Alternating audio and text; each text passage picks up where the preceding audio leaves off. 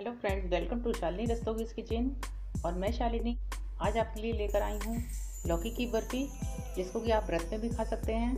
घर में बच्चों से लेकर बड़ों तक सबको बहुत पसंद आती है और बहुत आसानी से बन जाती है। तो इसको बनाना शुरू करने से पहले मैं आपसे फिर एक बार यही कहना चाहूँगी कि अगर आप मेरे चैनल को पहली बार देख रहे हैं तो मेरे चैनल को सब्सक्राइब कर लें। बेल आइकन ज़रूर दबाएँ ताकि मेरी वीडियो का नोटिफिकेशन आप तक सबसे पहले पहुँचे। तो आइए झटपट से इसको बनाना शुरू करते हैं। बर्फ़ी बनाने के लिए मैंने यहाँ पर ली है एक किलो लौकी। तो लौकी को पहले हम चिलर से छील लेंगे इस तरह से। उसके बाद इसका डंठल कट करके इसको फोर पीस में कट कर लेंगे। और अब इसको ग्रेट करने के लिए हम इस तरह से इसको ग्रेट करेंगे। इसका बीच का पल्प जो है उसको हम छोड़ देंगे और जो इसके किनारे हैं उसको हम ग्रेट कर लेंगे। तो सारी लौकी को मैंने ग्रेट कर लिया है। और इसके पल्प को मैंने बाहर निकाल दिया है। अब लौकी को हाथ से दबाकर इसके सारे पानी को हम बाहर निकाल देंगे। इस तरीके से।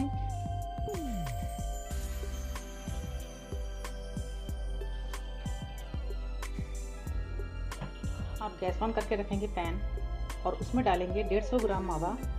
इसको पहले हम हाथ से इस तरह से खोल लेते हैं।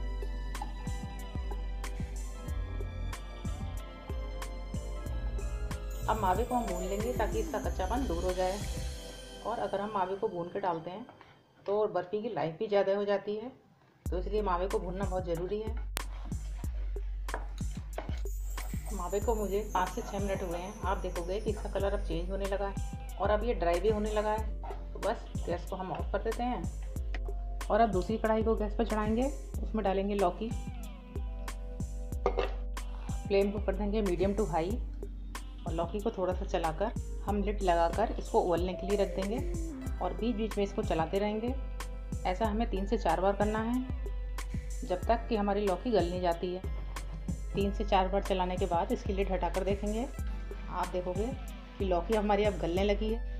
थोड़ी देर हम इसको इसी तरह से चला लेते हैं, ताकि जो इसका पानी है वो और सूख जाए। इस वक्त फ्लेम को हम हाई कर देंगे। जब लौकी थोड़ी सूखने लगेगी, तब इसमें हम डाल देंगे एक बड़ा चम्मच देसी घी और लौकी को घी के साथ अच्छे से भून लेंगे।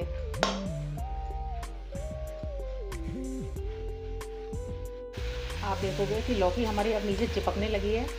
इसका मतलब लौकी हमारी अच्छे से भुन चुकी है, इसका पानी सारा सूख चुका है।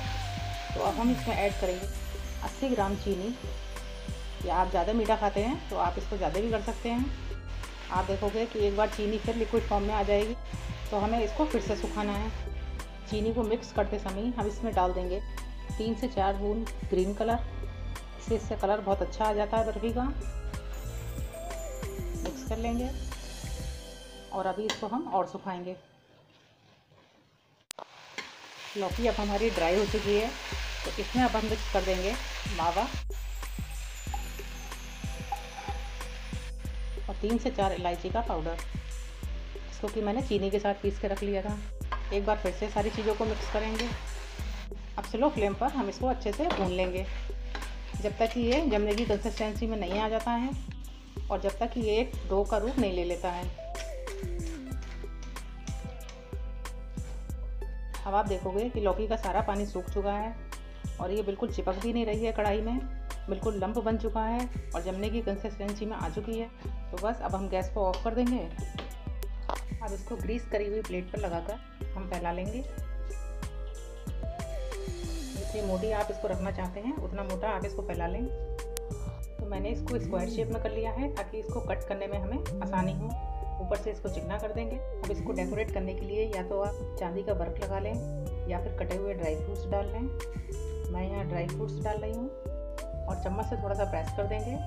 और इसको एक घंटे के लिए हम इसी तरह से छोड़ देंगे, जब तक ये ठंडी नहीं हो जाती है। और उसके बाद हम इसमें कट लगाएँगे। बर्फ़ी अब हमारी ठंडी हो चुकी है।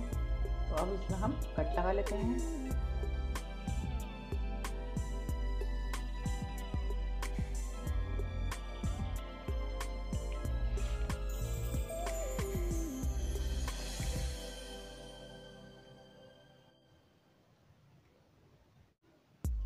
बहुत ही बढ़िया बर्फ़ी हमारी बनकर तैयार हो गई है। आप देखेंगे कि एक एक पीस कितना बढ़िया बना है इसका। तो आप लोग इसको ज़रूर ट्राई करें और अपने अनुभव मेरे साथ ज़रूर शेयर करें। Thank you